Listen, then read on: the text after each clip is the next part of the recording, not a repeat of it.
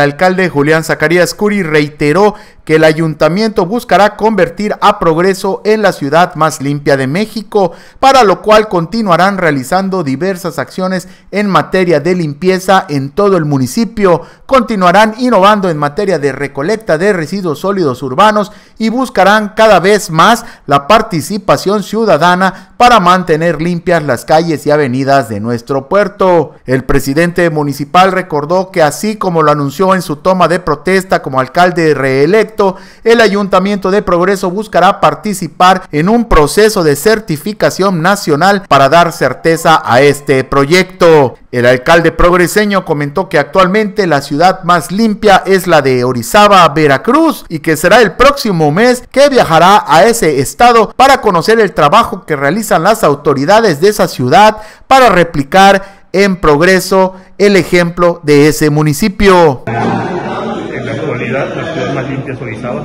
Orizaba. Ha hecho un excelente trabajo estos últimos tres años y voy a tener una reunión el siguiente mes con ambos, con el entrante y con el saliente.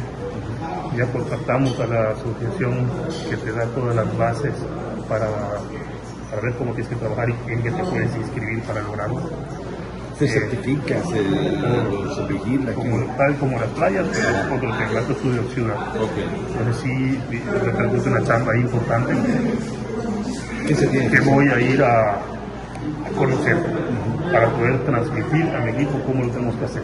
Según se informó, la Asociación Técnica para la Gestión de Residuos y Medio Ambiente, ATEGRUS, es la encargada de certificar a las ciudades más limpias de México cada dos años. La premiación bienal incluye la entrega de escobas de platino, escoba de plata y escoba de oro, las cuales son entregadas a entidades públicas o privadas que destaquen por su labor ecológica en el manejo de residuos sólidos, la limpieza y el aseo general de las ciudades, así como la aplicación de tecnología y campañas de concientización para mejorar las condiciones ecológicas en las comunidades.